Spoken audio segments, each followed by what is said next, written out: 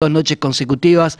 Ya bien tempranito lo tenemos a Rodrigo, miró nuestro corresponsal en Rosario en línea. Rodrigo, buen día, ¿cómo te va? José, eh, buen día, ¿cómo te va? Bueno, aquí con muchísima preocupación.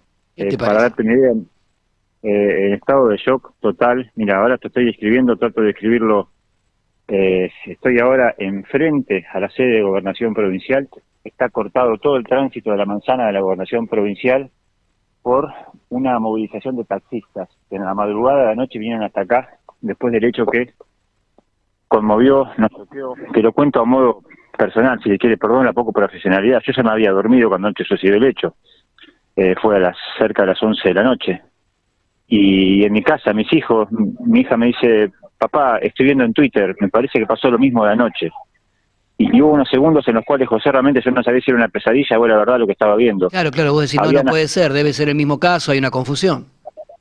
Habían asesinado a otro taxista en situaciones exactamente iguales a la de la noche anterior. Zona sur, disparos en la cabeza. La noche anterior había quedado una zapatilla cerca del taxi.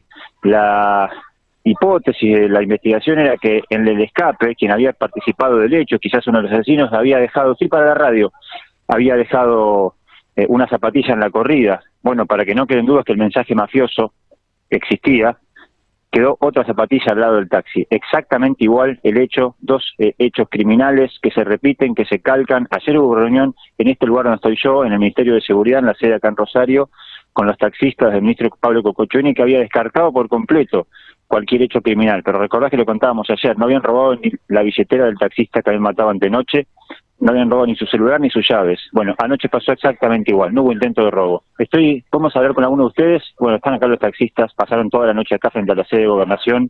José, te estoy diciendo, esto es adelanto aire de Santa Fe, no hay ningún medio todavía de la ciudad de Rosario que lo haya contado.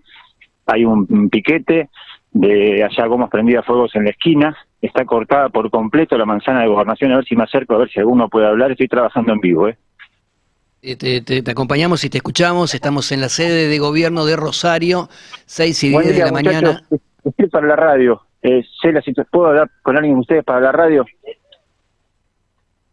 Eh, simplemente es la radio aire de Santa Fe. Contarme, estoy, estoy escribiendo que pasaron la noche acá, que están en gobernación. ¿Alguien que pueda contar qué de ayer? Ah, Estamos en Rosario frente a la gobernación. Anoche, José, lo que pudimos saber fue que los taxistas espontáneamente se movilizaron algunos frente a la zona del casino, otros frente a la zona de la terminal de Rosario, otros de distintas esquinas importantes de la ciudad, concentrándose a modo espontáneo, sin mucha organización previa, con la bronca y la desolación que tenían. Buen día, buen día, por acá estoy en la, en, radio en vivo. Podemos 30 segundos, eh, ¿cómo se enteraron de la noche? ¿Qué están, ¿Cómo está la situación ahora? Y la situación está crítica. Hoy no sabemos si volvemos, si salimos de casa, si volvemos. Entonces decidimos hacer este paro por 24 horas hasta que se esclarezca el hecho.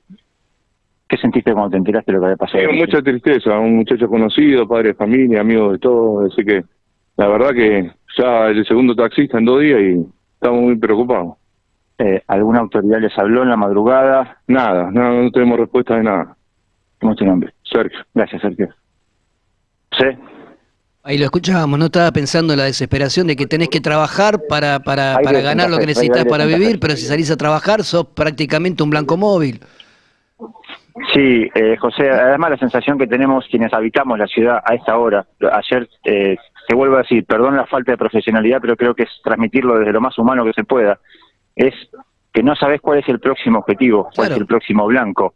Fueron los colectiveros, habían sido las escuelas, en aquel momento sin dejar víctimas fatales, y ahora directamente dejando eh, el blanco son dos trabajadores que perdieron uno antenoche y otro anoche su vida de una forma brutal, cruel, sin ningún tipo de mediación.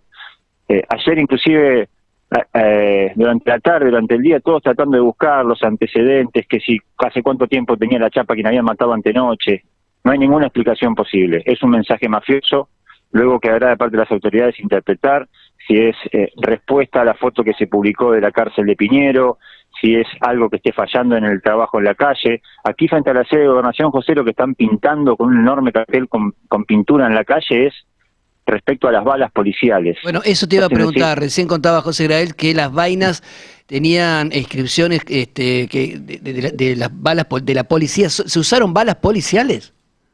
Se usaron antenoche balas policiales para matar al taxista, no sabemos anoche qué tipo de, de, armas y de balas se utilizaron, pero esta es la pregunta que se hacen los taxistas que han pintado frente a la gobernación esa pregunta, ¿balas policiales?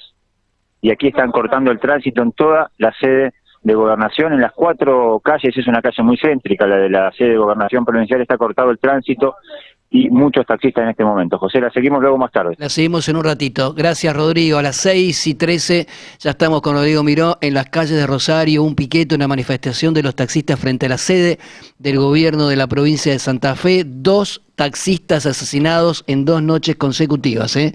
Y además, en el primer caso, las vainas